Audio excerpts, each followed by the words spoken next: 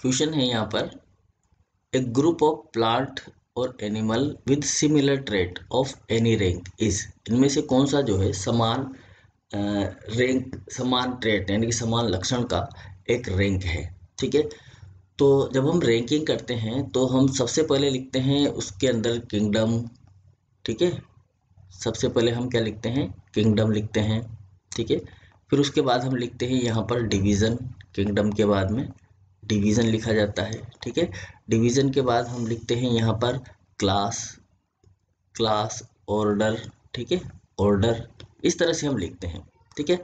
Order के बाद हम लिखते हैं फैमिली, और फैमिली के बाद हम लिखते हैं यहाँ पर जीनस जीनस, और जीनस के बाद हम लिखते हैं स्पीसीज, ठीक है? स्पीसीज तो इस तरह से हम ऑर्डरिंग करते हैं मतलब रैंकिंग देते हैं। किसी भी ऑर्गेनिज्म का जब हम क्लासिफिकेशन करते हैं तो इस तरह से हम क्या करते हैं, एक रैंकिंग देते हैं। ठीक है? तो ये सब क्या है? एक रैंक है। ये भी रैंक है किंगडम रैंक है डिवीज़न रैंक है क्लास रैंक है ऑर्डर भी रैंक है एक फैमिली रैंक है जीनस रैंक है और स्पीसीज भी एक रैंक है। तो हम किसी भी ऑर्गेनिज्म का अगर इसके अंदर कैरेक्टराइजेशन करते हैं क्लासिफिकेशन करते हैं तो उनके अंदर पर्टिकुलर सिमिलर ट्रेड्स देखे जाते हैं। ठीक है ना? किस किसमें कौन कौन से सिमिलर ट्रेड है? तो जो क्वेश्चन है हमारा है कि वो सबसे ज़्यादा किसमें होंगे? एक ग्रुप ऐसा ग्रुप जिसके अंदर सिमिलर ट्रेड्स अवेलेबल हों। फॉर एग्ज़ाम्पल ऑर्डर की अगर हम बात करें तो दो स्पीसीज का जो ऑर्डर सेम है, उनके अंदर सिमिलर कैरेक्टर भी क्या होंगे? सेम ही होंगे। ठीक है ना? दो।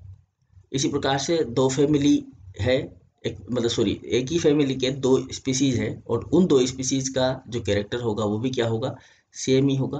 तो इन सब में हमें क्या मिलेंगे? सेम सेम कैरेक्टर मिलेंगे। ठीक है? दो दो ऑर्गेनिज्म है और उनका जीनस सेम है तो उनके अंदर कैरेक्टर भी क्या होंगे? सेम होंगे। ठीक है? तो यहाँ पर अगर हम देखें तो स्पीसीज हो गया जीनस हो गया ऑर्डर हो गया, इनमें सब में हमें बहुत ही ज़्यादा सिमिलर ट्रेड्स मिलेंगे। लेकिन अब ऑप्शन हमारे पास में चार दिए गए हमें और इसमें से जो चारों ऑप्शन हैं। उनमें से तीन को तो हम समझ सकते हैं कि स्पीसीज के अंदर दो स्पीसीज है।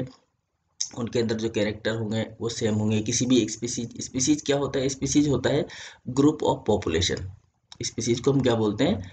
ग्रुप ऑफ़ पॉपुलेशन बोलते हैं, ठीक है?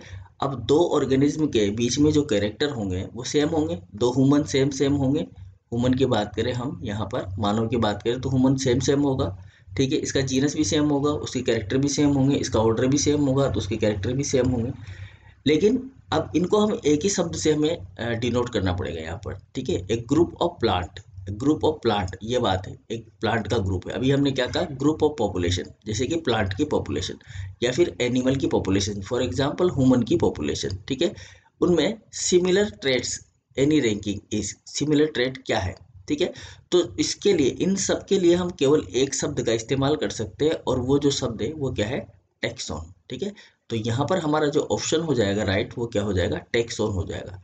क्योंकि हम सिमिलर कैरेक्टर, जैसे कि सिमिलर प्लांट है तो उसकी स्पीसीज भी सिमिलर होगी तो कैरेक्टर भी सिमिलर ही होंगे, ठीक है? उनके जो लक्षण है सिमिलर होंगे, जीनस में भी सिमिलर होंगे, ऑर्डर में भी सिमिलर होंगे। तो हम क्या होता है कि जो ये सारी चीज़ हमने लिखी है, इसका, इसके लिए एक शब्द का इस्तेमाल किया जाता है, जिसे कहा जाता है टेक्सॉन। ठीक है? और बहुवचन में इसे कहा जाता है टेक्सा। क्या कहा जाता है? टेक्सा। ठीक है? अब यहाँ पर हम देखें तो किंगडम भी एक टेक्सोन है। तो किंगडम भी एक क्या है? टेक्सोन है। इसी तरह डिवीज़न भी एक टेक्सोन हो गया। क्लास भी हमारा टेक्सोन हो गया। ऑर्डर भी हमारा क्या हो गया? टेक्सोन हो गया। फैमिली भी क्या हो गया टेक्सोन गई। जीनस टेक्सोन स्पीसीज भी टेक्सोन तो ये जो टेक्सोन शब्द है, ये टेक्सोन शब्द हम किसी के लिए भी इस्तेमाल कर सकते हैं। तो उनके जो ग्रुप होंगे, उन ग्रुप में जो भी पॉपुलेशन होगी और जो भी ऑर्गेनिज्म होंगे, उनके जो ट्रेड्स होंगे, वो क्या होंगे? सिमिलर होंगे।